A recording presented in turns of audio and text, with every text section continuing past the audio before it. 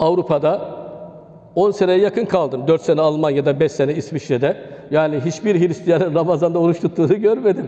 Hiçbir Hristiyanın kurbanlık almak için böyle dolaştığını, kurban kestiğini kurban bayramında görmedim. Bir iftarı beklerken bir Hristiyan elinde hurmayla beklediğini görmedim. Hiçbirinin bir teravih namazını kıldığını, oruç tuttuğunu görmedim.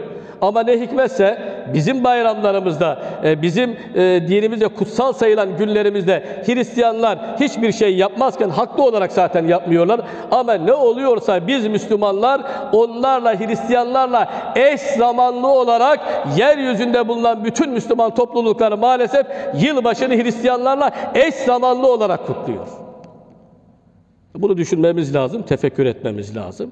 Yani bu Noel, işte Hristiyanlık e, ya da e, yılbaşı eğlencesini kazıdığımız zaman altından papaz çıkar. Altından rahip, rahibe çıkar.